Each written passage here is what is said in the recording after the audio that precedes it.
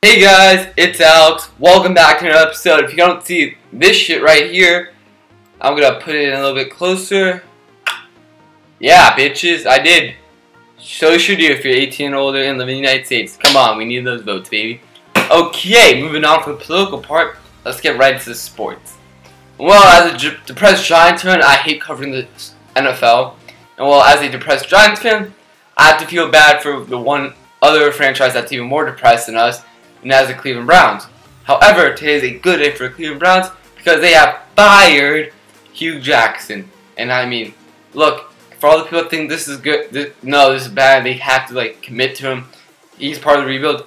No, he's just downright awful. I mean, when he made comments like this, he said yesterday, is when a reporter asked him, "How many timeouts do you? Why didn't you use any of the timeouts before the half ended?" He says, "I don't recall that."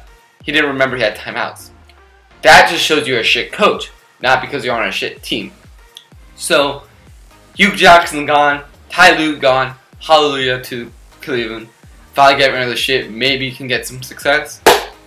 Yo, Oklahoma, remember their head coach? You'd be a great fit with Baker, all I'm saying. And they also fired Todd Haley, which is actually surprising because they just signed him. I thought they would commit to him because he's their first year. He's the actual long term. Now Hue Jackson's been there for three years.